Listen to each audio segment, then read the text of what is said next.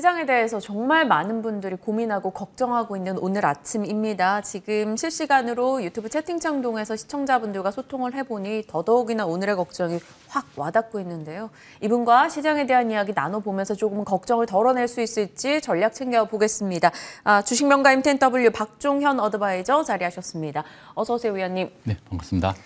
어, 시작 전에 제가 위원님한테 우울하다고 네네. 말씀드렸던 위원님이 저도 가시방석입니다 하셨는데 네네. 아, 인플레이션에 대한 우려 그리고 우크라이나로 인한 각종 걱정거리 추가 네네. FMC 의사록 공개 이번 주도 금융시장 변동이 만만치 않을 것으로 예상이 됩니다만 네네.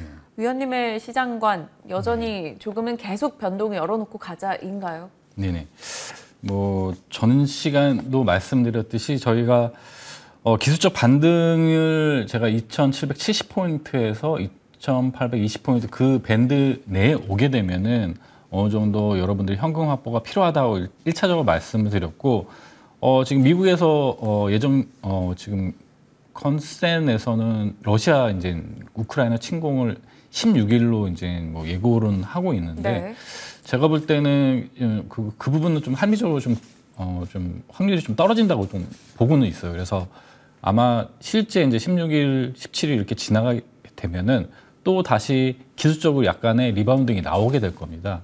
이렇게 rebounding이 나올 때마다 여러분들이 어느 정도 단기적으로 만약에 매수를 했다가 수익권에 나오는 종목들은 현금화가 필수적으로 좀 필요한 구간을 보고 있거든요. 그래서 여러분들이 제가 기- 동일한 관점으로 3월 17일 FMC 실제 금리 인상을 발표한 이유를 좀 봐야 어느 정도 지수가 저점에 대한 바닥에 대한 시그널이 명확하게 나올 수가 있기 때문에 제가 차, 차트로 좀 추가적으로 계속 말, 말씀을 드리겠습니다. 뭐 네. 뭐 유튜브를 제가 보면은 뭐 댓글도 여러 가지 의견이 있는데 어, 고점에서 보시게 되면 68일 계속 똑같은 걸 말씀을 드려요. 어, 고점에서 68일이 이렇게 하락을 하고 다시 한번 예, 횡보 구간이 68일이 오고 그 구간 내에서 나머지 이제 68일 동안에 이 하락 채널이 구간에서 이제 바닥이 만들어집니다. 근데 제가 보기, 보기에는 이 기술적 반등이 리바운드 22선 부근에서 왔다가 다시 한번 기술적인 조정이 오고 다시 한번 rebounding이 오면서 저는 이 구간을 기본적으로 이 고점 대비 제가 이전에도 한번 금리 인상 시기에 이렇게 조정이 오는 구간을 고점 대비 퍼센트로 좀 설명을 드렸습니다. 그런 부분은 고점 대비 마이너스 23%가 빠지면은 보통 이렇게 금리 인상 시기에 이렇게 조정이 나오고 거의 바닥이 잡혔거든요. 그 구간을 어, 설명을 드리면은 뭐 좀 우울한 이야기지만 네. 예, 2,530에서 2,550포인트가 딱 그 구간이에요. 이, 마이너스 23% 조정 오는 구간이. 그렇게 되면은, 물론 거기까지 빠진다고, 어, 제가 확정 드리는 말씀이 아니라, 어, 여러 가지 대외적인 상황이나, 어, 보더라도 두 가지 시나리오를 저는 제시 드릴 수 있- 있을 것 같습니다. 기- 네. 이전 저점인 2,600포인트를 지지받고 이렇게 쌍바닥 형태가 되는 형태가 시나리오 1안이고요. 네. 바- 방금 말씀드렸던 실제 뭔가 전쟁이 발발하거나 FOMC에서 어, 0.5% 어, 갑작스럽게 금리 인상을 0.25%가 아닌 0.5% 갑작스럽게 두 번 인상하는 효과의 형태로 하게 된다. 그러면 잠시 일주일 동안 정도 2,500포인트도 한번 갔다 올 수 있는 두 가지 안을 3월 2, 3월 안에 좀이 1, 2 안으로 지금 저는 예상을 하고 있기 때문에 여러분들도 제가 CPI 뭐 지수가 지금 물가 지수가 높지만 제가 말씀드렸듯이 그런 CPI 지수의 영향으로 소비 심리 지수에 대한 부분을 저번 시간에 말씀을 드렸습니다. 그러면 전체 글로벌리 시장에서는 소비 심리가 떨어진다는 거는 전체 글로벌 시장에 영향이 있거든요. 물론 뭐 우크라이나 우크라이나 영향도 있지만은 그럼 소비 심리가 떨어진다는 거는 성장이 둔화된다는 소리입니다. 그래서 이런 부분을 좀 여러분이 3월까지는 어느 정도 보수적으로 현금 확보에 대한 부분을 좀 계속 어, 보수적인 시각으로 좀 가지고 가시면서 대응을 하셔야 되- 된다고 이렇게 말씀드릴 수 있을 것 같습니다. 위원님이 왜 시작 전에 가시방석입니다라고 하셨는지 알 것 같아요. 정말 하기 힘든 이야기를 해 주셨어요. 듣고 있는 전 지금 배가 다 아픕니다. 아, 2530에서 2550선까지 변동을 열어놓고 볼 수 있다라는 게 시나리오 두 번째. 첫 번째는 일단 2600에서 반등 줘서 쌍바닥 형태로 어느 정도의 반등이 나온다라는 건데 아, 그 반등도 사실 그간에 말씀 주셨던 시황간을 생각해 본다면 추세적 반등이 아니라 어, 기술적 반등으로 잠깐 또 올랐을 때 이익을 정리해야 되는 구간이다. 이렇게 보신다는 거 맞죠? 어, 제가 볼 때는 그 68일 아니 4월입니다. 4월 안에 이 하락 채널은 저는 끊는다고 보고 있어요. 왜 네. 그러냐면 지금 여러분도 아시겠지만은 전, 전 세계가 지금 어, reopening을 하고 있어요. 그러면 지금 문제가 인플레이션 일어, 일어난 문제도 물론 있지만 가장 큰 문제는 공급망 이슈 때문에 발생했던 부분이기 때문에 이런 코로나에 관련된 부분, 연준도 이런 부분은 어, 예상하지 못했기 때문에 제가 볼 땐 이런 긴축에 대한 부분도 좀 늦어, 늦춰진 부분이 있거든요. 근데 reopening이 되고 공급망 문제가 해결되고 이런 원자재 같은 부분도 어, 유럽 쪽 같은 경우는 3월이 되면은 또 겨울이 지나가게 됩니다. 그렇게 되면 이런 지금 방금 유가나 천연가스에 대한 부분도 어, 어느 정도 해소가 되기 안정화되고. 때문에 그런 부분이 안정화되면서 바닥 잡히고 4월 이후에는 지수가 이제 어, 본격적으로 반등 구간이 온다 이렇게 좀 설명드릴 수 있을 것 같습니다. 그래서 3월까지는 그렇죠. 견디는 시간. 그렇죠. 2, 3월은 여러분들이 좀 보수적으로 대응하시고 여러분 만약에 전기차나 반도체 이런 종목 들고 계신 분들은 지금 구간에 손절하는 것보다는 반등 줄 때 대응하시는 게 좋고 2, 3월은 말 그대로 전문적인 trading 영역이라 어, 그렇게 좀 어, 설명을 좀 드릴 수 있을 것 같습니다. 네, 힘든 얘기 조심스럽게 해주셨어요. 지금 많이 공감되는 얘기가 불타는 잡초님이신데 아이디가 아, bounding이 나와도 본전 근처에 안 오니까 매도를 못 하는 겁니다. 10% 정도 손실만 돼도 매도를 하겠는데 어, 많은 개인 투자자분들이 그런 상황이실 거예요. 어, 이런 분들에게는 뭐 반도체나 전기차 관련한 종목이면 그래도 일단 끌고 가고 견뎌보자이지만 네네. 다른 섹터로 이렇게 오랫동안 크게 물려 있는 분들은 어떻게 해야 될까요?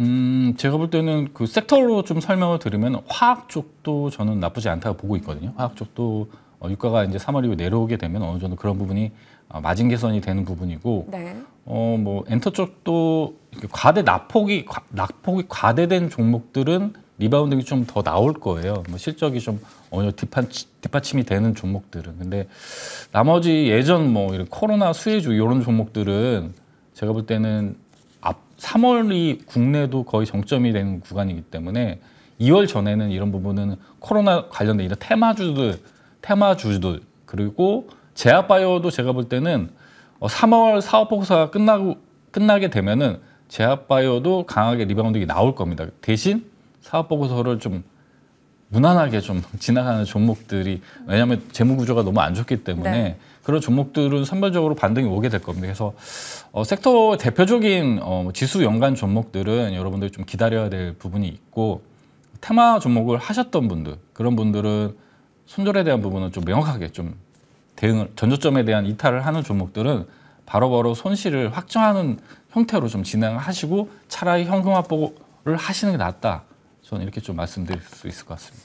올해 들어서 박종현 위원님께서는 단 한 번도 시장에 대해서 어, 지금입니다라고 얘기하신 적은 없어요. 항상 3월까지의 변동의 가능성에 대해서 얘기를 해주셨었는데 어, 3월 지날 때까지는 우리가 현명하게 버티는 전략에 좀 초점을 맞춰 봐야 될 것 같아요.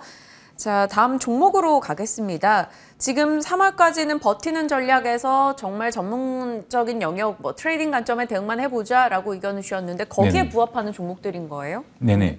어, 요 차트를 잠시 한- 하나만 좀 체크만 해드리고 아. 말씀드리고 이 선물 옵션 차트를 한번 보여주시면은 이게 미결제 약정입니다. 이런 부분은 좀 선물 좀 어려운 부분이긴 한데 이 미, 미 미결제 약정이 이게 줄어드는 그러니까 말 그대로 3월 어, 옵션 만기와 4월 옵션 만기 이, 이때 이런 부분이 포지션이 좀 바뀌어야 이제 시장이 완벽하게 변화가 될 겁니다. 그래서 이런 부분은 제가 계속 지속적으로 공유 드리고 있으니까 노란톡에 오셔가지고 이런 변동되는 부분에 대한 포지션에 대한 부분은 좀 설명을 드리고 종목으로는 제가 돌파 뭐 키워드로 좀 이렇게 준비를 했습니다. 지금 현재 뭐 어, 필수 소비재 그리고 뭐 에너지 그리고 뭐 실적주들 뭐 이렇게 관련해서 reopening 관련된 종목들 이렇게 계속 순환매가 나오고 있는데 네. 오늘 이제 가지고 온 종목은 오르비텍이라는 종목입니다. 아, 어제 원, 원자력 관련된 종목들이 낙폭이 굉장히 많이 왔습니다. 뭐 네.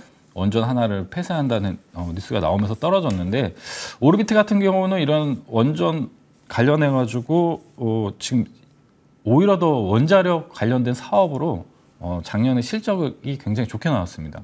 동사 같은 경우는 항공 부품하고 이런 원자력 관련된 종목을 하- 어, 사업을 영위하고 있는데 항공 부품 쪽은 굉장히 적자가 많이 나왔는데 말씀- 아, 여러분도 알고 계, 계시겠지만 보잉사에 이렇게 납품하는 기업입니다. 그러면 관련된 항공 산업 관련해서도 reopening 관련된 종목이기 때문에 올해는 오히려 더 이런 항공 쪽 수요가 늘어나면서 수혜를 받을 수가 있고 기존 에너지 관련된 원자력도 사업 자체가 글로벌리 계속 늘어나는 형태이기 때문에 동사 같은 경우 이 어느 정도 바닥이 어느 정도 잡혀져 있는 구간을 보고 있었, 있습니다. 그래서 지금 현재 21선을 돌파한 6천원 라인이 지지선으로 보고 있기 때문에 어, 음봉 올 때 동 종목을 좀 매수하시고 어, 돌파 가격은 6,000원대, 손절 가격은 장, 장중에 6천 종가가 6,000원 회복되면 계속 동사는 이렇게 거래량이 발생했기 때문에 세력은 이미 들어와 있다고 보고 있어요. 그래서 전저점 이탈 없다면은 동 종목은 보유하시고 목표 가격은 어, 6,900원 이렇게 짧게 그냥 5% 10% 내에 수익 나면 매도하고 다시 보고 이런 형태로 계속 어, 3월까지만 일단은 게릴라 전략으로 계속 진행을 하겠습니다. 네. 게릴라 전략 오르비텍 얘기해 주셨습니다. 가격 라인까지 잘 설정해서 지키셔야 될 것 같고요. 다음 종목이 엠플러스입니다. 1월에 좀 선전하면서 어, 장비주로서 매력을 조금 뽐내다가 그리고 나서 어, 조금의 상승분을 반납했는데요. 엠플러스 어찌 보셔요?